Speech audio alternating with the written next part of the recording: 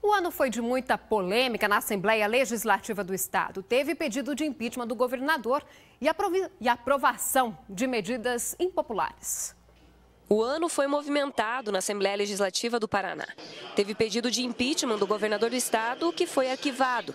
Tentativas de abrir CPIs para investigar obras nas escolas e a Receita Estadual em Londrina, que não foram abertas por não ter apoio suficiente. Eu acho que a CPI é um canal para que você publicize essas informações. Eu espero que ano que vem, aqueles inclusive que prometeram durante a campanha eleitoral que assinariam as CPIs, né, caso é, viessem novamente para a Assembleia, que assinem e que nós retomemos esse debate. É que os argumentos da oposição são muito fracos e não conseguem convencer os deputados. Eu penso que é regimental, eles têm que conseguir as assinaturas. Por outro lado, essas investigações são conduzidas com competência pelo Ministério Público, em quem eu confio. Também teve a aprovação de medidas impopulares, criação de taxas, autorização para vender ações da Copel e da Sanepar. Protestos contra o corte na reposição dos servidores públicos que chegaram a esgotar a paciência do presidente da casa. Sindicalistas também provocaram. Você vai dar hoje de prisão de novo?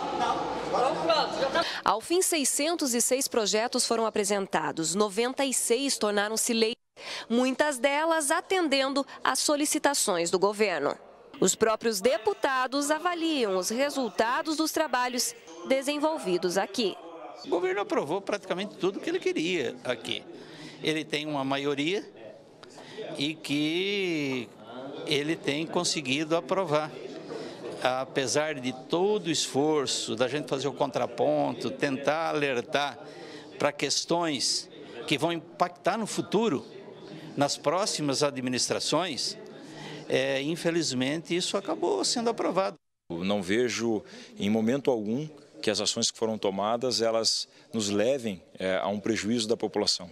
Pelo contrário, acredito que as medidas austeras que foram tomadas são fruto de um estudo, de uma avaliação que identificaram que justamente para que a gente mantenha o Estado equilibrado, nós precisávamos dessas medidas. Tivemos aí eh, a duplicação da PR4, 45, que vai, a partir do ano que vem, começar as obras até Guaravera, entre outras situações, vários projetos. Esperamos que o ano de 2017 seja melhor do que esse ano, que a gente possa conseguir não é, muitas coisas para a nossa região.